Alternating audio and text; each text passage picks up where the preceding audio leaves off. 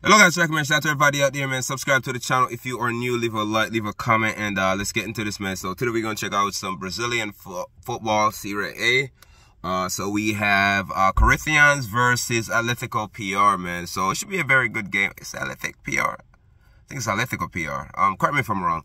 Um, but yeah, it should be a good game. Um, both team hasn't been doing that great. Both team hasn't been winning any game recently. Um, the last game between these two teams ended in uh, I think a one-one draw. Um, Corinthians hasn't lost to them in the last two games, so that's kind of good. They win one and they drew the recent recent one. Um, and uh, yeah, man, Corinthians the last five games for them has been uh, two wins, two losses, and one draw. They haven't won a game in the last uh, three games, so three games without winning.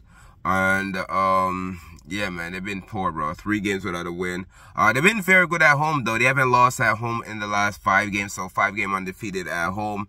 Uh, they scored nine goals in the last, what, five games, so that's not bad, really. Compared to Athletic uh, PR, um, they have they only scored two goals in the last five games. Um, they haven't won a game in the last four games, so last five games for them has been three losses, one draw, and one win, man. They're currently on a three-game losing streak right now. They haven't scored in any of their last, what, three games. So three games without scoring. Either two or three games without scoring a goal. They haven't won a, an away game in the last uh, five away game, bro. They haven't won. Yeah, in the last five away game, they haven't won none of them. They're currently on a two-game losing streak on the road, man. So uh, they've been just doing poorly overall, and I think they're gonna be the same.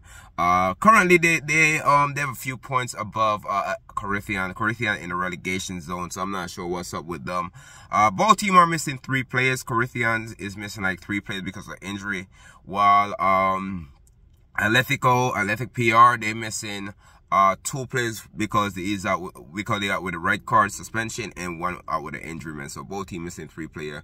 I think Rocca for Atletico PR has a um as a red card man so yeah it, it's gonna be a, a, tough game interesting game but would not be surprised if this ended in a, a draw like a 1-1 draw or 2-2 draw but me personally i'm going with uh, corinthians to win this game um ah yeah yeah it's gonna be a tough game man i'm going uh, Corinthians to win this. I, I know they're going to win, but um, I'm going no BTTS for this one, bro. No BTTS. Corinthians to win 1-0 or 2-0.